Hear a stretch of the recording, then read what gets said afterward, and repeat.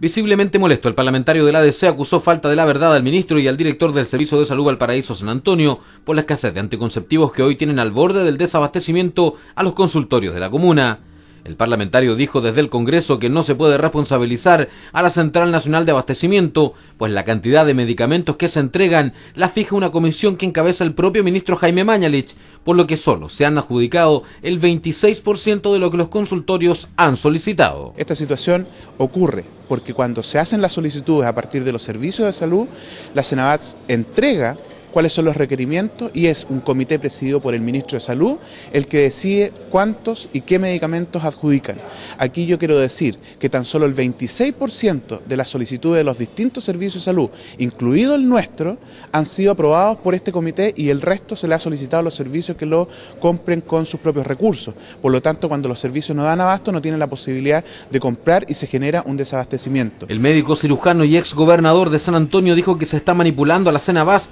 con la finalidad de hacer una imagen pública de falla del sistema y justificar así las intenciones del gobierno de privatizarla. Nosotros tenemos dudas de cuál va a ser el futuro que este ministerio quiere para la Central Nacional de Abastecimiento. Nuestras sospechas son de que se quiere privatizar y en ese sentido no vamos a permitir que ello ocurra. Creemos en la necesidad de poder modernizar la Senabast, pero hoy día privatizarlo tratando de decir que es ineficiente no nos parece. Aquí tiene que el gobierno asumir el problema que está ocurriendo en todo Chile y fundamentalmente lo que está pasando en San Antonio con estas 20.000 mujeres que están desprotegidas desde el punto de vista de la salud sexual y reproductiva por no contar con los anticonceptivos. Finalmente Torres dijo que oficiará una fiscalización al sistema de entrega de medicamentos, pues no se puede estar jugando con la salud sexual y reproductiva de las mujeres de San Antonio, promoviendo un aumento de la cifra de embarazos no deseados. Nosotros vamos a fiscalizar, nosotros planteamos ya precisamente un oficio de fiscalización el año pasado respecto a los temas de los anticonceptivos. Hoy día vamos a volver, sobre todo a propósito de la situación de San Antonio, a insistir en esta materia,